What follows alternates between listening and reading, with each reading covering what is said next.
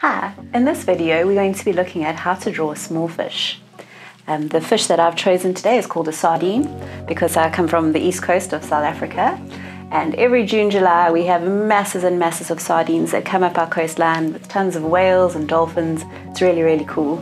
So I decided why not draw a picture of them. In this video we're going to be using food colouring and pens to make our sketches a little bit more colourful and interesting. Um, this is a really cheap and fun way to get used to the style of watercolours and see if it's something for you or not. You can click on the link in the description below to download the guide that I'm using in this tutorial. For this video you're going to need a piece of cardboard.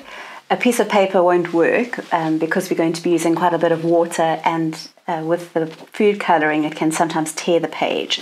So a good piece of cardboard is probably what you need um, a pen, a pencil, and a paintbrush.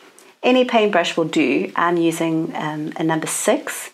Um, if you have a thicker paintbrush, consider drawing your picture a little bit bigger, and then it will be easier to get those small details in. You're also going to need some blue food colouring and a palette of some sort. I'm using an ice cube tray, it works really well for watercolour painting.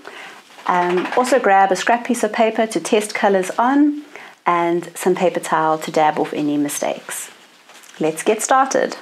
The first thing that we need to do is draw our fish or our sardines. So because this picture it's quite simple, we need to make sure that the sardines are all lined up perfectly. You can just draw a line with, uh, with your pencil freehand or you could use a ruler and draw a nice straight line. This line should be really light because you don't want to see it at the end. This just gives us a guide for where to start and finish our fish. Now the fish, it's just like a, a flattened oval shape. So you can just curve your hand up, bring it back down. I like to flip the page over to get that curve easily. And then the tail is a similar curve.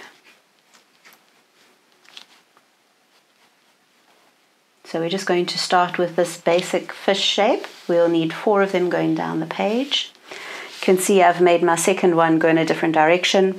It's just to add a little bit of interest to the picture. So let's draw our four fish now.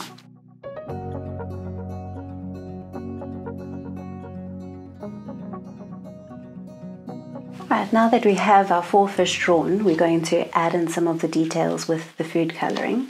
Don't worry if your fish are not looking perfect as we do the pen sketching, we're going to tweak one or two things to make it look right. Now, we don't want to have just plain food colouring on our page. We need to add a little bit of water to the food colouring to make it easier to spread. Um, it also slows down the drying time, so you have a little bit more time to fix something or blend the paint in. I'm just using three brush loads of food colouring in my palette, and I'm just going to add two or three drops of water to that. The more water you add, the less intense the color will be. So you you want to find that balance between making it easy to use but also making it still look really bright and colorful. Just going to use my scrap piece of paper and test that I'm happy with the paint because looking at it just looks like a, a big dark blob. You can't really see the color. Right, so if you're happy with your color, you can get started. The first thing that we're going to do is just draw a, a, or paint a dark line across the top half of the fish. Just watch me paint one of the fishes and then pause the video and give it a try. Don't be trying to watch the video and paint it at the same time because you definitely are going to let it dry too long and then you're not going to get the right effect. So just watch it and then I'll tell you when to pause and you give it a try yourself. Okay, so it's a little bit thinner at first where its faces and then you can really push down hard with your paintbrush, harder, um, and get the rest of it. And then from round about two thirds of the way, just do a couple of dots across the page. Now what we're going to do is load our brush full of water and we're going to go over what we've just painted. And this is going to blend it together a little bit and give us that watery effect can even add another brush load of water to it.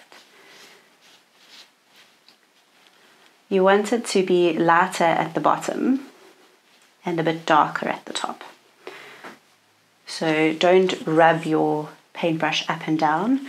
Do lines across and that will make sure that the bottom still stays light. If you get a little bit too much of the colouring on the bottom of your fish, just use your paper towel and you can dab it off. Or if you're feeling that the fish is too dark, you can also just dab it off with your paper towel. But you can give it a try.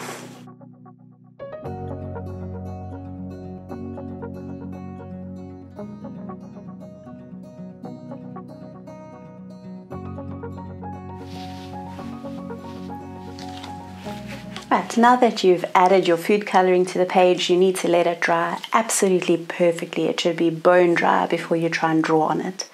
If you draw on this page now with a pen, the pen's just going to bleed into the wet paint. So give it about 10 minutes to dry. You can use your hair dryer if you like, and that will speed up the drying process a little bit. Now that our sardines are nice and dry, we can use our black pen to add a few details to them. So let's first start with just an outline of the sardine. So I'm just drawing light lines and several of them. So I'm not pressing hard and just drawing one solid line. Just nice and lightly use it to draw the outline. His mouth is going to be on the top half of of his body. So it curves just before the bottom of his body, and then you curve another line out almost parallel to it around the bottom. So that's the position of the mouth. You need to shade it in as two separate pieces. Okay, I'm turning my page around so that my hand is nice and comfortable. And I'm just drawing the bottom of the fish. Okay, his tail is nice and easy.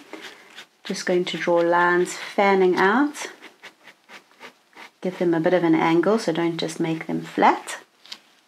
Yeah, then we're going to draw a few lines along the top and the bottom just to darken those edges, make them look a bit rounded.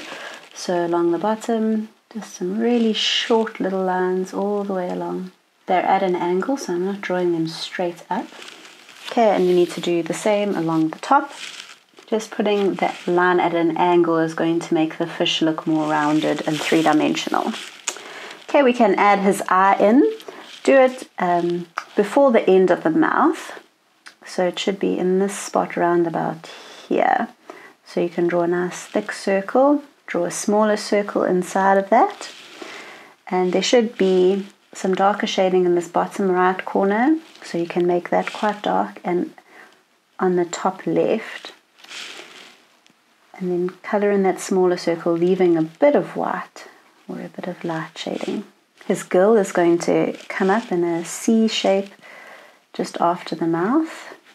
Try and make it just before these dots start, but it doesn't matter if your dots are on top of it, it won't really be noticed. Then below that we've got a triangle, that's his little fin. Really light lines for this, a couple of lines inside it. Also got a small little fin on the top here, triangular shaped, put some lines in it, and at the back.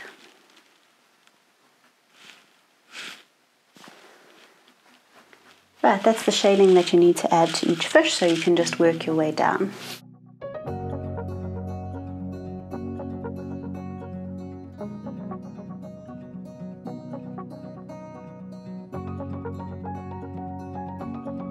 And that is how you can draw a really simple picture of sardines.